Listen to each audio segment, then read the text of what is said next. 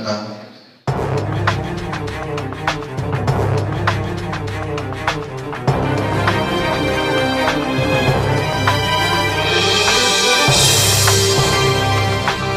Selamat siang, kembali jumpa dengan saya Mas dari Perintis Indonesia.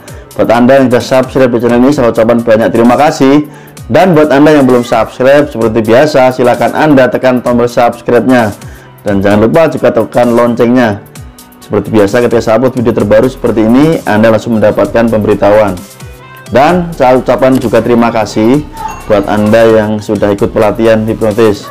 Nanti bagi Anda yang tertarik, berminat dan ingin menguasai pelajaran tentang ilmu hipnotis hipnoterapi, Anda bisa hubungi nomor WA yang saya cantumkan di kolom video dan juga di kolom deskripsi di bawah video.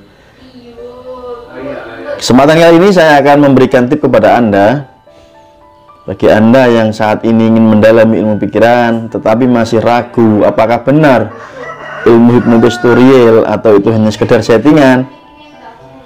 Sebelum Anda memutuskan untuk bergabung, silahkan Anda riset terlebih dahulu.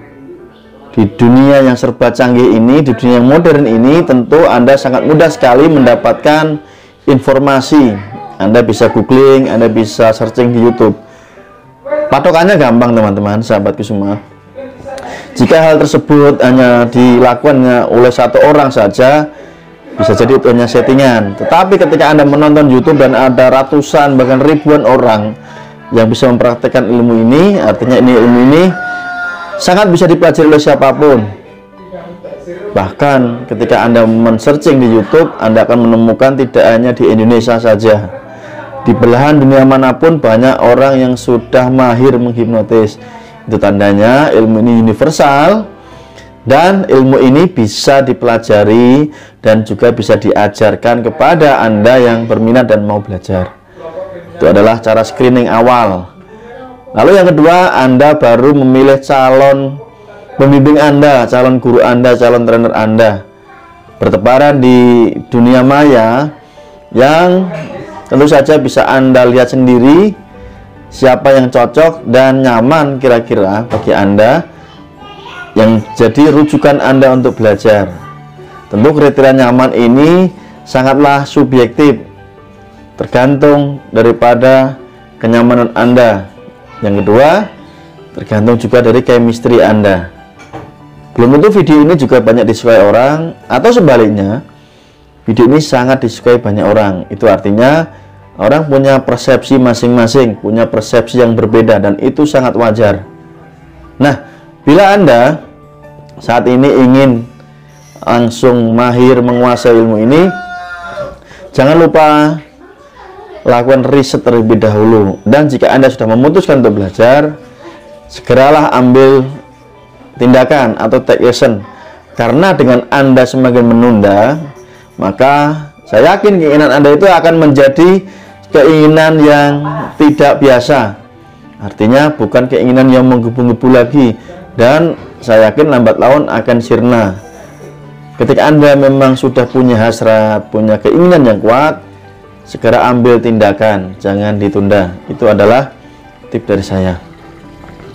Dan juga bagi anda yang sudah belajar tetapi ingin menjadi lebih mahir lagi mau tidak mau anda harus terus belajar baik itu secara teorinya mempelajari macam-macam pengetahuan di sana sekaligus juga anda harus mampu mempraktekkan mempraktekkan tidak hanya satu kali dua kali tiga kali bahkan sepuluh kali tapi harus mengulang, melakukan repetisi berulang-ulang. Ketika Anda semakin banyak mempraktekkan, otomatis Anda akan menemukan jati diri Anda. Anda akan menemukan kenyamanan di diri Anda.